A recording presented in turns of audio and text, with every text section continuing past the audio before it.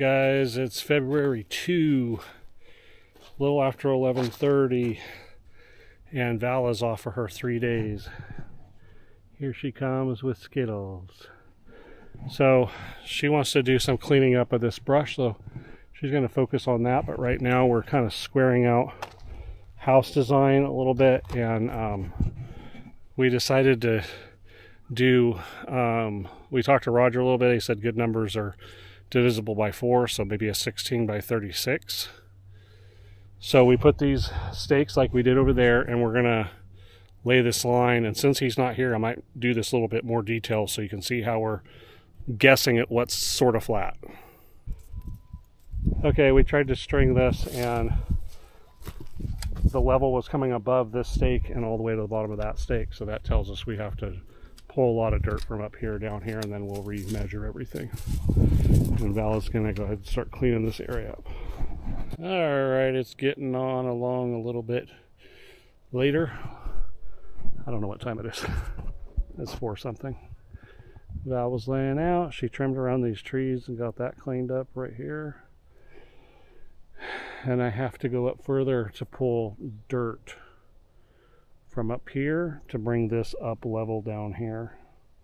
It just wasn't enough. It was too much of a rundown hill. And to help us a little bit with drainage as well, we need it lower down there. So the water will drain before it gets to us, to the house. It's been a nice day. Very nice weather. So we're going to wrap it up. Val did some dowsing and moved her flag to a new location and I'm not indicating at all on her new location.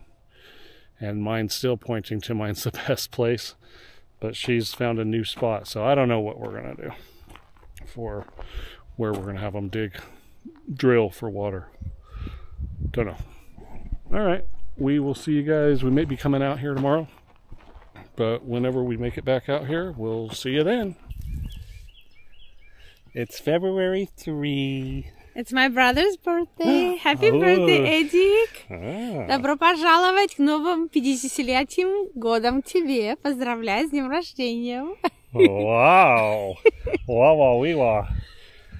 And, I don't know, it's probably close to noon. It pays to have a daughter who works at Home Depot. We got a whole bunch of peat moss for grow for organic growing. And we're going to use this mix probably with something else for garden and stuff and planting trees, fruit trees and all that stuff. So I'm going to unload this stuff. It's pretty heavy. And we're going to put it here on the pallet. All right, let's get to work. We got a great deal. Huh? We got a great deal. We got an excellent deal. These are usually two $22 a bag. Uh-huh. And we got them for $2 and something a bag. So a 600 and something dollar load for 60 something or about 70 bucks or something.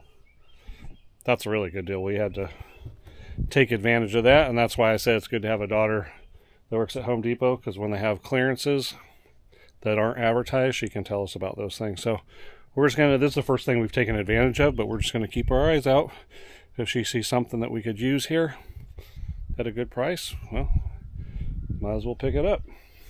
All right, I'm gonna unload this. Let's get to work. All right, the jacket came off after about four or five. So 31 bags by myself, I don't mind saying. My foreman's sitting down there getting her tan on.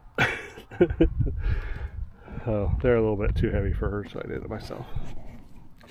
All right, now we need to unload some pallets that we got for Niana and Diego, they're going to do a shed as well.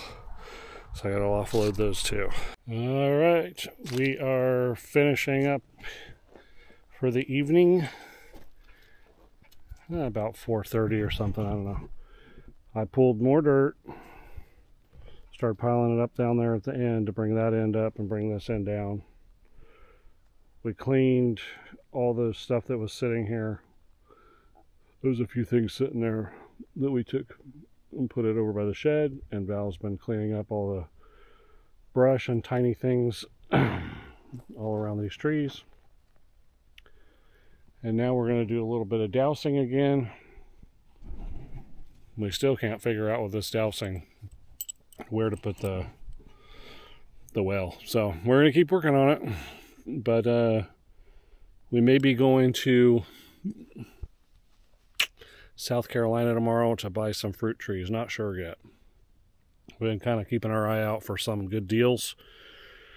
there happens to be a really good deal way down there, but we'll need to call and make sure somebody's going to be there tomorrow. So I don't know if we'll be out here tomorrow. Maybe, maybe not.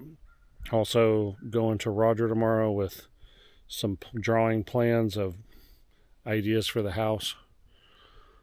So there's a good possibility I won't be back out here until this next week sometime, but we'll see. We'll see you guys when I get back out here. Hello. What did you buy today? I bought fruit trees. Amazing. We got grapes. We got an apple tree there, more grapes. Trees, trees, trees, trees, trees, trees. Trees. Food. Free food. Free food. Well, it's not free, the trees cost, but it'll produce, hopefully. Yes. Yeah, we drove to South Carolina today. Pretty deep into it to get a good deal. Pretty amazing deal. So we're excited. This is Sunday. I don't know what day it, what the date is. February four or five? Four. All right. So there we go. It's exciting. That's the stuff I'm excited about is growing our own food. So that's the exciting thing for me is growing our own food. Look at this. These three hundred dollars that we spent, is gonna be forever priceless food that we will eat. That we know it's real food. Real food, yes, it's not printed. We can make jams and juices and have life giving energetical food. Are you recording me? Yeah. Oh, You have to tell me this. You should not. Hi. Take it off. uh, it's exciting.